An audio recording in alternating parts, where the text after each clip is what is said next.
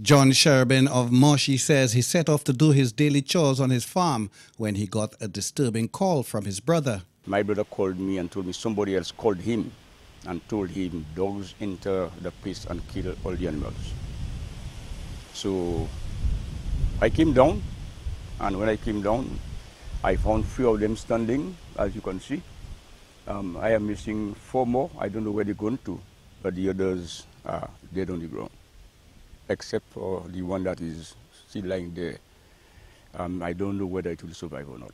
Sherbin says this has happened on many occasions, but that, he says, will not discourage him from rearing his goats. My friend, I believe that happened to me about 10 times already. And, uh, you know, one of the things that is very important and interesting to me is, you know, the Lord never leave you hungry. Because whenever they come in, there is one or two that will stay alive. And in staying alive, I will keep them, you know, and they will still breed again.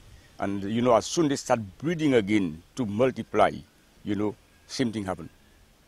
That will not discourage me. No matter what the case may be, the lone farmer says he will continue to make ends meet with the little he is left with. You know, it's two things. I say finish with that, but you know, when your customer moving and you know, you always, you know, that's what you like. That's part of your life. You know, it's either one or the other.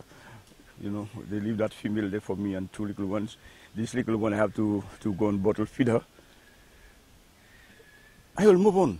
Although the incident did not occur last year, Sherbin thought it was all over, but here he is once again counting his losses. It takes five months for goat to, to, to, to breed um, and go on and for it to give birth. You know what happened?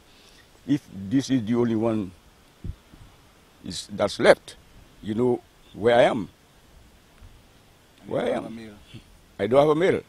so you know I'm look the middle, look the middle like down there. So I don't have a mill.